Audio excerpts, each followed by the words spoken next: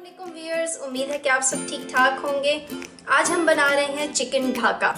Simple सी recipe है, मगर आपकी टी ब्रेक को लगा देगी ये चार चाँद।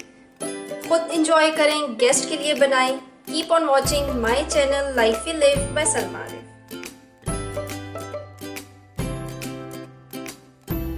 सबसे पहले हम चिकन को काट लेते हैं। यहाँ पे मैंने लिया है बोनलेस थाई पीसेस चिकन के आधा किलो, आप इसकी जगह ब्रेस्ट पीस भी यूज़ कर सकते हैं। चिकन को हम स्ट्रिप्स में काटेंगे।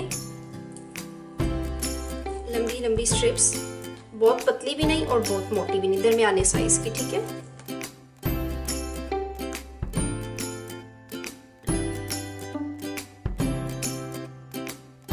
ये आप देख रहे साइज़ बिल्कुल बहुत मोटी नहीं, बहुत पतली नहीं और इसी तरह हम बाकी सारा चिकन भी कट कर लेंगे।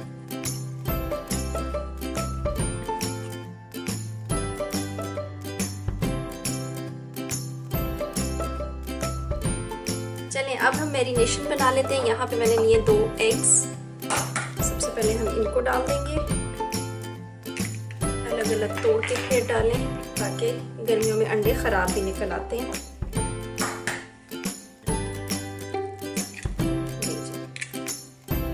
एग्स चले गए। अब हम इसके अंदर डालेंगे। यहाँ पे मेरे पास है three tablespoon lemon juice tablespoon grated garlic लहसुन, इसको मैंने कद्दूकश कर लिया। ये हम इसमें डाल देंगे और इसको हम थोड़ा सा बीट कर लेंगे।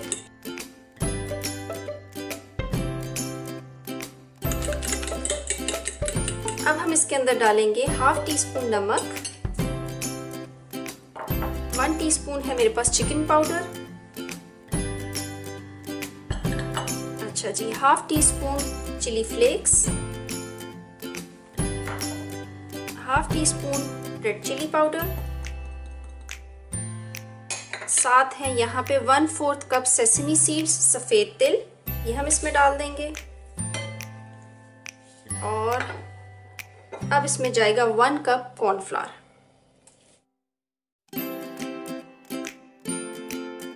इन सारी चीज़ों को आप अच्छा सा मिक्स कर लें।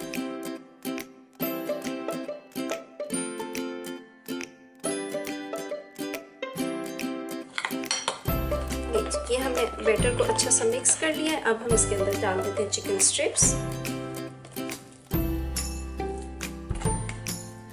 और इसको अच्छा सा मिक्स कर लें।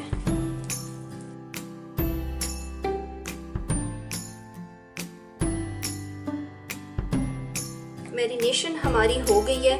अभी हमने चिकन को एक घंटे का रेस्ट देना है, ताकि सारे फ्लेवर्स अच्छी तरह से चिकन में चले जाएँ, और फिर हम इसको फ्राई करेंगे। चलें जी। पैन में मैंने ऑयल डाल लिया है। हल्का सा ऑयल हमारा गर्म हो चुका है। अब हम चिकन को फ्राई करेंगे मीडियम फ्लेम पे। एक एक स्ट्रिप आप इसमें से उठाते जाएँ और ऑयल में डालते जाएँ।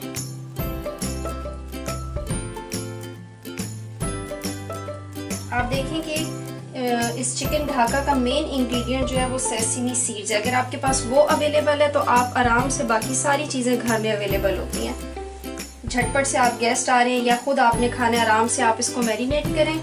थोड़ा सा रेस्ट दें और फ्राई करते हुए भी कोई इतनी लंबी कोटिंग इसकी नहीं है कि आप ब्रेड क्रम्स लगाने हैं या और चीज़ें।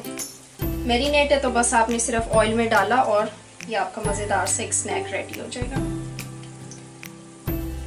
चले, मैं इसमें बाकी भी डालती हूँ। दोनों तरफ़ से अच्छा सा गोल्डन आ जाएगा कलर तब तक हमने इसको फ्राई करना है।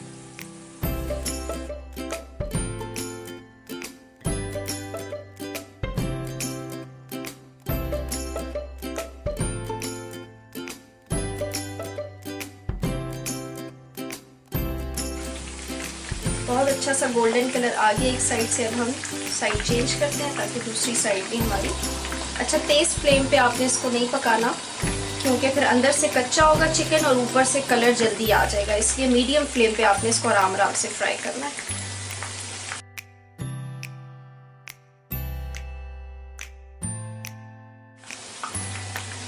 पाँच मिनट में दोनों साइडों से बहुत अच्छा सा कलर आ गया है। चिकन अंदर से भी कुक हो चुका है। अब हम इसको निकाल लेते हैं। पेपर टावल पे निकाल देते हैं ताकि एक्स्ट्रा ऑयल सारा उसके अंदर एब्जॉर्ब हो जाए।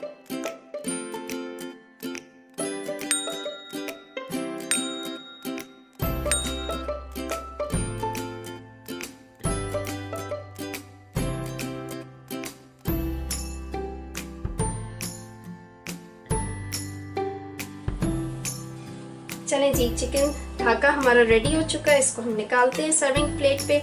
आप देखें कि मैंने आधा किलो चिकन लिया था और मैंने अभी हाफ़ फ्राई किया। माशाल्लाह से प्लेट हमारी भर गई है। अगर आप सारा फ्राई करें तो आपकी दो प्लेट्स आराम से ये भर के रेडी हो जाएँगी। गेस्ट आ रहे हैं, आपका अपना दिल कर रहे आप बनाएँ। गेस्ट के लिए तो आप साथ होममेड एक दो मीठी चीज़ें बना लें डोनट्स बना लें या कोई और चीज़ तो आपकी एक मज़ेदार सी होममेड ज़बरदस्त सी टी ब्रेक रेडी हो जाएगी। ज़रूर ट्राई करें। आई होप कि आपको आज की रेसिपी पसंद आई है। इसको लाइक करें शेयर करें और मेरे चैनल को सब्सक्राइब करना हरगिज़ ना भूलें। ओके जी थैंक यू बाय बाय